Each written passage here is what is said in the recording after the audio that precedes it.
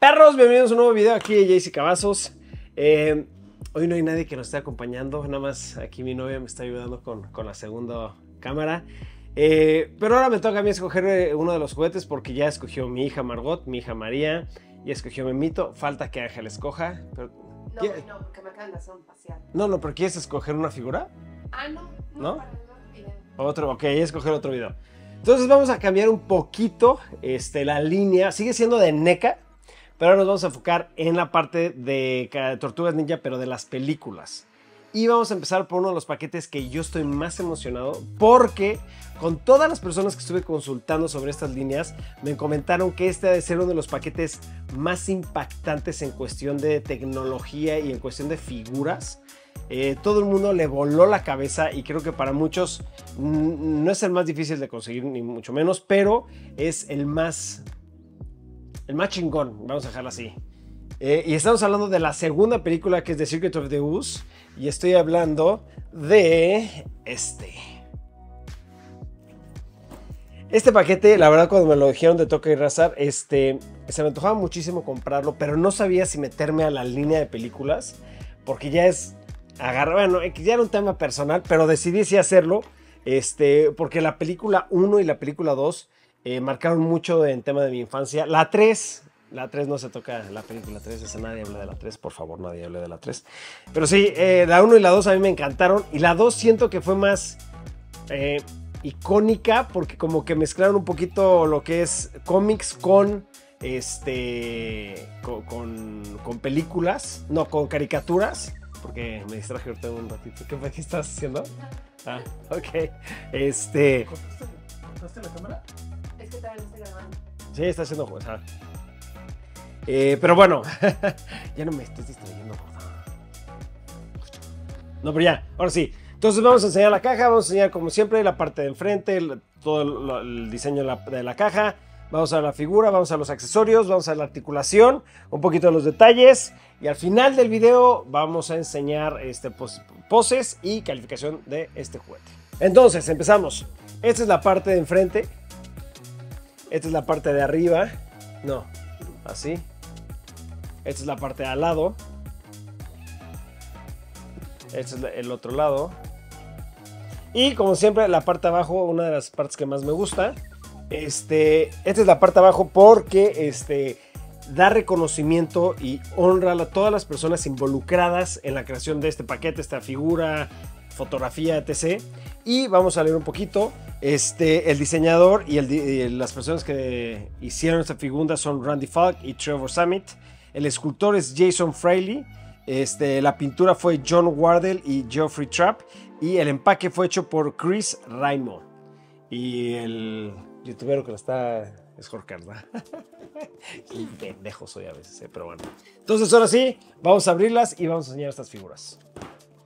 Ok, después de una hora y todas estas fregaderas que tienen, eh, que sí, sí, fue un chingo de cosas, ¿eh? Pero bueno, ya estamos viendo las figuras. Si se están fijando, los detalles y la escultura de estas figuras me están volando la cabeza. Yo creo que ya, ya entiendo por qué están diciendo que están impresionantes. Pero bueno, vamos a empezar por una en una. Y vamos a empezar con Toca. Ok. Este. Todavía no, le- he movido, no, he- movido la figura. Quiero ver ahorita la articulación. Pero vamos a enfocarnos un poquito en los detalles de la escultura. Se pueden fijar, los ojos, la nariz. Bueno, sí se enfocaba. Los dientes, el pecho, eh, el, las diferentes aplicaciones de color que le están poniendo, este, los detalles, el sombreado. Está impresionante esta figura. Esta es la parte de al lado. Y la parte de atrás, aparte de que está muy chingona, duele cabrón cuando la agarras, ten cuidado porque sí es plástico maleable, pero no mames, sí pica. Y me impresionó más de lo que esperé porque pensé que iba a estar mucho más maleable la parte de atrás, pero no está nada maleable. O sea, sí está... Mira, chequen. O sea, sí, sí está duro esta fregadera, entonces tengan cuidado. Vean estos detalles. Está cabrón, sí, sí, sí, sí, sí, ma- esta figura. Entonces, ahora sí, la voy a ver yo. Y ahorita vamos a ponerla en una posición. Y vamos a enseñar un poquito la articulación. Y ahorita nos vamos a ir con la siguiente. Ok, vamos a hablar un poquito de articulación. Y creo que esta articulación me voló la cabeza. Número uno, nada, ninguna articulación, ninguna posición, ningún movimiento está restringido en cuestión de pintura o de pegamento, de que esté muy, muy dura la, la- la articulación. Está, en- está perfecto, está perfecto la articulación, estoy impresionado. Pero vamos a empezar por la cara, porque la cara creo que a mí me dejó pendejo. Ahí les va. Esta es una expresión. No vienen con caras diferentes. ¿Por qué? Porque la propia cara te puede hacer expresiones. Si se fijan, vamos a posarla así, posarla así. Está como que con cara medio enojada, ¿no? Se le puede abrir la boca. ¿Sí se ve? La lengua adentro no se puede mover, pero bueno, se puede mover la boca. Ahora vamos a poner otra expresión. ¿Qué expresión es? Como cara triste, como cara sorprendida. ¿Quieres ver? Ok, checa, esta es una primera expresión. Como de cara de...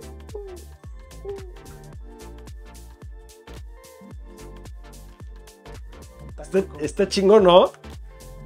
Esta, es- eso me voló la cabeza. O sea, este tipo de detalles que hace NECA no lo había visto y está perricísimo porque simplemente por moverle las cejas cambia completamente la expresión de una cara triste o sorprendida a una cara enojada. Y aparte la boca se puede abrir y los detalles de adentro de la boca están cabroncísimos.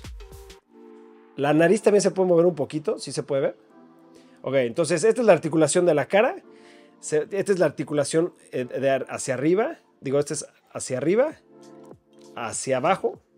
Pero también tiene articulación en el cuello. Entonces, si la usas las dos, esta es la parte hasta arriba. Y esto es viendo hasta abajo. Impresionante la movilidad. Adicional a eso, tiene una movilidad en el pecho, si se fijan.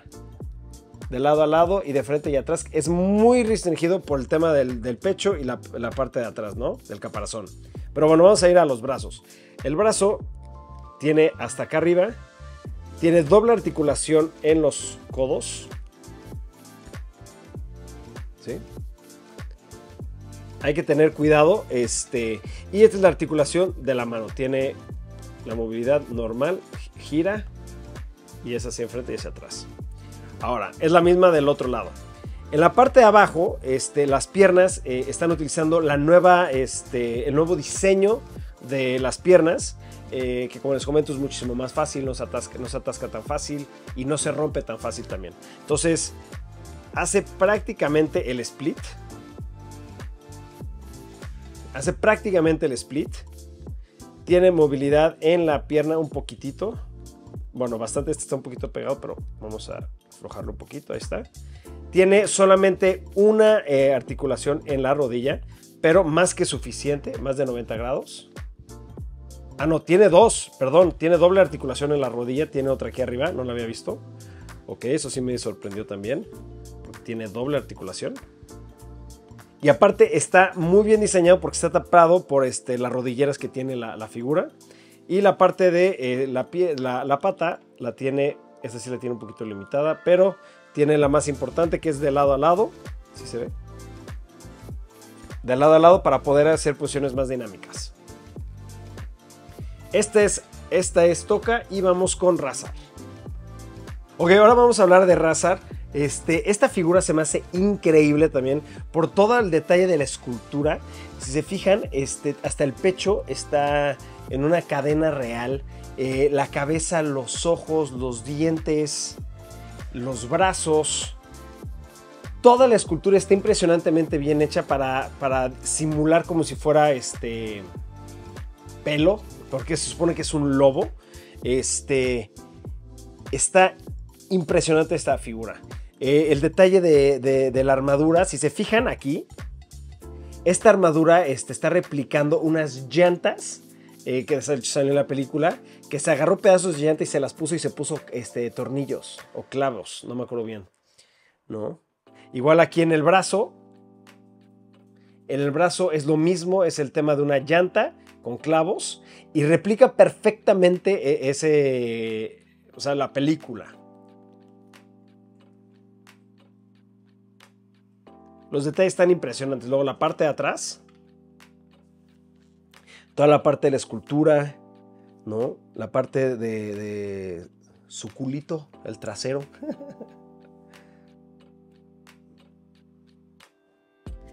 Y ahora sí, vamos a empezar con la articulación. Entonces, ahora sí, no la hagas, hazle un poquito de zoom out. Tú me dices. Ok, la articulación, este, al igual que la pasada que toca, este, se me hace muy, muy impresionante que nada estaba pegado, todo estaba fluyendo padrísimo. Eh, nada más hubo un detallito en una como que sentí que está un poquito de más porque no, yo estoy acostumbrado a que estén muy pegadas y tener que echar secadora o agua caliente, pero en este caso no tuve que hacer nada de eso. Simplemente la moví un poquito y se soltó. Entonces vamos a empezar con la cabeza. La cabeza tiene obviamente el mismo detalle que la pasada, tiene la articulación en la, en en boca, que simplemente nada más por abrirla cambia completamente de, expresión. Tiene la articulación de la cabeza, que tiene movimiento en la cabeza y en el cuello. Este, tiene completamente hacia abajo, com, completamente hacia arriba, que no ve muy hacia arriba, pero tiene una movilidad bastante, bastante buena, ¿no? Ahora los brazos, esta es la parte hasta, hasta lo más recto que se puede, no puede más, por el tema de la, escultura. Tiene doble articulación en los codos. Tiene articulación en el pecho, pero en el pecho tiene, está muy limitada al igual por el tema de la escultura, no tiene mucho movimiento para adelante y para atrás. Esto es lo máximo. Tiene... Está perreando así de... tiene movimiento hacia los lados. Este puede hacer completamente el split. ¿Sí está enfocado? Luego tiene eh, una articulación, esta sí ya lo revisé bien, tiene solamente una articulación, pero si se fijan, está impresionantemente bien hecha. Y la articulación en las patas. Las patas sí tienen más movilidad que la pasada, hacia arriba y hacia abajo, y hacia los lados, ¿no? Para ponerla en unas posiciones bastante dinámicas. Entonces ahora sí vamos a empezar con los accesorios y después vamos a terminar con puntaje y posiciones. ¿Sí? Ok, vamos a empezar con este escudo. Eh, el escudo es de raza, eh, normalmente es el que utiliza en la película. Y está replicando un ring de, de una, una, llanta. ¿no? Los detalles de la parte atrás, que es plástico. Nada, hay que tener mucho cuidado porque siento que si lo haces muy duro, se puede, se puede romper. No es plástico tan aguado. Imagino que lo hicieron de esa manera para poder que lo pueda agarrar chingón. Luego vamos a seguir este, con este accesorio que es el TGRI, que es el, el canister US, el contenedor del, del US, no sé cómo decirlo en español, ¿qué será? El slime. Es como el, el coso verde. La, la cosa verde, el, el US, vamos a llamar US, ¿no? Así yo lo conozco y así se va a llamar, punto, se acabó. Este, este está lleno, eh, creo que en otro paquete en el cual está vacío y roto. Luego viene con un extintor, que también es, lo utilizan en la película para las tortugas contra ellos. Luego viene un detalle muy chingón. Si se acuerdan en la película, este, eh, Donatello creó, me acuerdo que una cosa para quitarles el, la mutación y se las metieron en unas donas.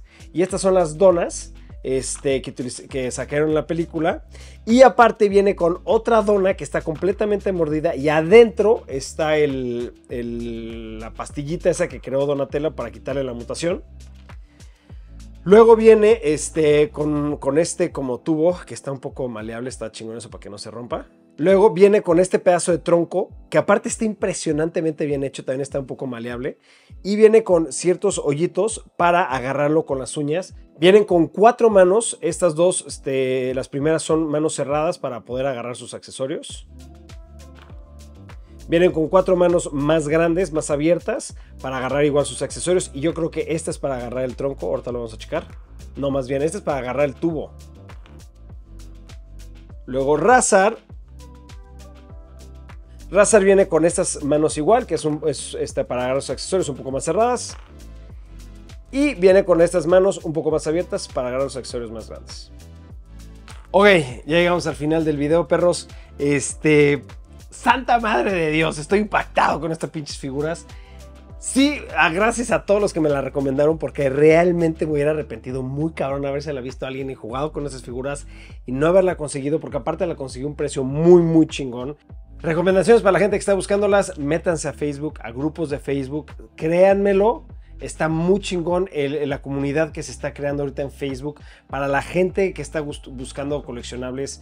Están apoyando y realmente no te están viendo la cara. Antes te veían mucho más fácil la cara porque no había tanta información sobre las, eh, figuras que son bootlegs o son falsas o son réplicas. Eh, ahorita la gente que vende bootlegs o falsas o réplicas, que es súper, súper padre co- coleccionarlas porque tienen su categoría y su gusto. Pero hay que ser honestos con la gente que las está comprando y decir, "Oye, ¿sabes que esta es una réplica? Bueno, es- está chingón. Son réplicas muy padres, hay réplicas muy, muy, muy feas, pero hay réplicas muy, muy bien hechas. Nada más hay que ser honestos y ayudar a la gente que está coleccionando y nunca verles la cara, porque se me hace algo muy padre lo que está pasando ahorita con la comunidad. Vamos a hablar de las figuras. Estas figuras sí me volaron la cabeza por demasiadísimo. No puedo creer lo impresionante que están.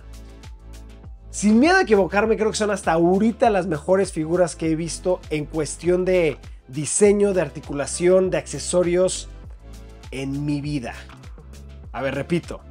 De todas las figuras que yo he visto en mi vida, ya sean tortugas o sea cualquier otra línea, que no sean Hot Toys, porque ese es otro contexto completamente diferente, figuras de este tamaño, no he visto mejores.